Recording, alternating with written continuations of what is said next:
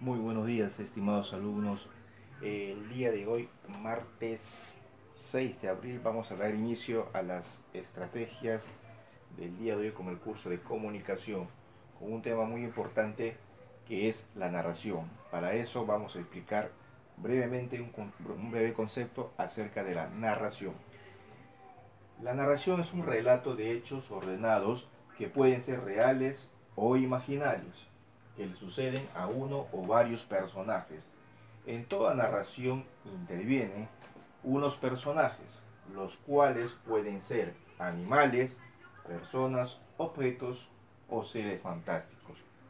Dentro de la, de la narración tenemos a unos cuantos elementos, por ejemplo, el narrador, personajes, el tiempo y el espacio y la acción. El narrador es el personaje que nos cuenta lo que está sucediendo.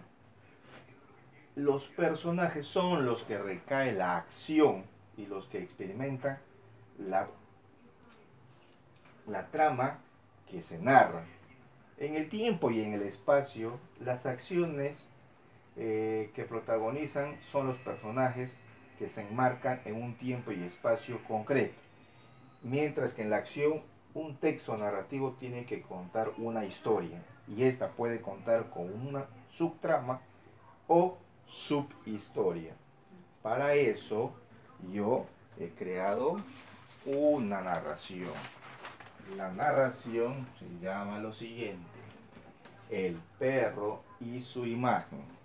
Ya sabemos que la narración puede ser reales o pueden ser imaginarios. Decimos, Cierto perro cogió entre sus dientes un gran pedazo de carne. Acá hay un signo, ¿no es cierto? Y dice el perro, ¡qué magnífico! se dijo. ¿Ya? Lo llevaré a casa y allí lo comeré a mi regalado gusto. En el camino cruzó un arroyuelo cuyas cristalinas aguas reflejaron su imagen y le hicieron ver ingenuamente a otro perro con una presa más grande en el hocico. ¿Ya?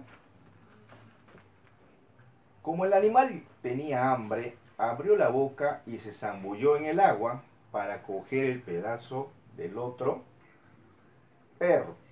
Entonces se dio cuenta, aunque tarde, de que su guía le había costado la pérdida de su pedazo de carne.